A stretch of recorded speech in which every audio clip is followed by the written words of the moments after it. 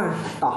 ឥឡូវយើងចូលដល់ករណីពិសេសវិញម្ដងបាទករណីពិសេសហ្នឹងគឺពិសេសយ៉ាងដូចម្ដេចបាទអញ្ចឹងបងប្អូនមើលទាំងអស់គ្នាបើបើ A ជាមួយនឹង B នេះបើវីទ័រ A ជាមួយនឹងវីទ័រ B នេះវាមានទិសស្របគ្នានេះគេហៅថាសញ្ញាស្របគ្នាតោះណាអញ្ចឹងពេលនោះវាគុំបានមុំ0ដឺក្រេបាទបងប្អូនចាំណាបើសិនបើវីទ័រ A ជាមួយនឹងវីទ័រ B មានទិសដៅស្របគ្នាអញ្ចឹងវាគុំបានមុំ0ដឺក្រេបាទអញ្ចឹងលោកគ្រូអាច អាចកណនាវីទ័រ A និងវីទ័រ B បានអូអធិស្ឋានណាលោកគ្រូអាចកណនាអឺវីទ័រគួបរវាង A និង B បានតាមរយៈរូបមន្តបាទ C ស្មើជាមួយនឹង A បូកជាមួយនឹង B បាទអញ្ចឹងបងប្អូនចាំថារូបមន្តមួយនេះប្រើបាន ក្នុងករណីតែវីទ័រ A ស្របជាមួយនឹងវីទ័រ B ចាំណាបងប្អូន បាទអញ្ចឹងបងមើលមើលមកលើរូបបាទខ្ញុំគូរូបឲ្យមើលបញ្ជាក់ទៀតណាអញ្ចឹងឧទាហរណ៍ថាខ្ញុំមានវីទ័រ A ដែលមានទិសដៅទៅខាងស្ដាំបន្តមកទៀតខ្ញុំក៏មានវីទ័រ B មួយទៀតដែរដែលមានទិសដៅទៅទៅស្ដាំដូចគ្នាអញ្ចឹងយើងក៏លេខមកក៏លេខឃើញថាវីទ័រ A ជាមួយនឹងវីទ័រ B យ៉ាងមិនដែរបាទគឺមានទិសស្របគ្នាមានទិសស្របគ្នាហើយមានទិសដៅដូចគ្នាទៀតបាទ អញ្ចឹងនៅពេលនោះគឺយើងអាចកណនាវីទ័រគួបដែលគេហៅថាវីទ័រ C នេះស្មើជាមួយនឹង A បូកជាមួយនឹងនឹង B បាទតោះណាបងប្អូនអញ្ចឹងនៅក្នុងចំណុចមួយនេះ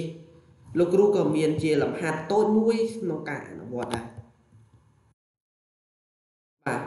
ចូលសង់វីទ័រគួបនិងវាស់តម្លៃបាទករណីដែល A ស្មើ2សង់ទីម៉ែត្រ B ស្មើជាមួយនឹងអឺ4សង់ទីម៉ែត្រ ដែលបងប្អូនមើលនេះចំណុចដែលសំខាន់នេះគេប្រាប់ថា A មានទិសដៅស្របជាមួយនឹងនឹង B បាទបាទដំណោះស្រាយសង់វីទ័រគួបបាទអញ្ចឹងខ្ញុំសង់មកណាវីទ័រ A យ៉ាងមិនដែរបាទស្មើ3សង់ទីម៉ែត្រហើយវីទ័រ B យើងស្មើប៉ុន្មានបាទស្មើជាមួយនឹង4សង់ទីម៉ែត្រអញ្ចឹងខ្ញុំអាចសង់វីទ័រគួបហៅថាវីទ័រ C យើងនេះ អញ្ចឹងវីទ័រ C យើងគឺដាច់ខាតត្រូវតែវែងជាងវីទ័រ A និងវីទ័រ B ដោយសារតែវីទ័រ C គឺកើតចេញមកពីវីទ័រ A បូកជាមួយនឹងវីទ័រ B តោះណាបងប្អូនអរគ្នាបាទអញ្ចឹងនៅក្នុងរូបភាពមួយនេះឬក៏ចំណុចមួយនេះតកតទៅនឹងការសង់វេទ័រតើបងប្អូនចាប់បានដែរទេអូខេអញ្ចឹងយើងទៅមើលការកណនាកម្លាំងគួបវិញម្ដងបាទបើសិនបើវេទ័រ2មានទិសដៅស្របគ្នាអញ្ចឹងតើយើងកណនាកម្លាំងគួបតាមណាបងប្អូន បាទអញ្ចឹងប្រកាសជាអាចកណនាតាមរយៈរូបមន្ត C ស្មើជាមួយនឹង A បូកជាមួយនឹងនឹង B បាទដោយតិចមកណាយើងបញ្ជាក់គេបាទធ្វើលំហាត់ឲ្យមានលំដាប់លំដោយមកណាដោយ A ស្មើ2អញ្ចឹងមក B ស្មើជាមួយនឹង4សង់ទីម៉ែត្រចឹងមកណាវាមិនខាត់ពេលប្រហែលទេអញ្ចឹងយើងធ្វើការចំនួនចូលយើងបានបានអីគេបានវីទ័រ C ស្មើជាមួយនឹង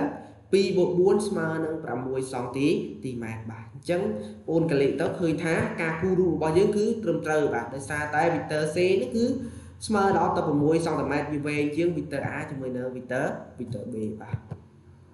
ដូចនេះវីទ័រគួបគឺ C ស្មើជាមួយនឹង6សង់ទីទីម៉ែត្របាទ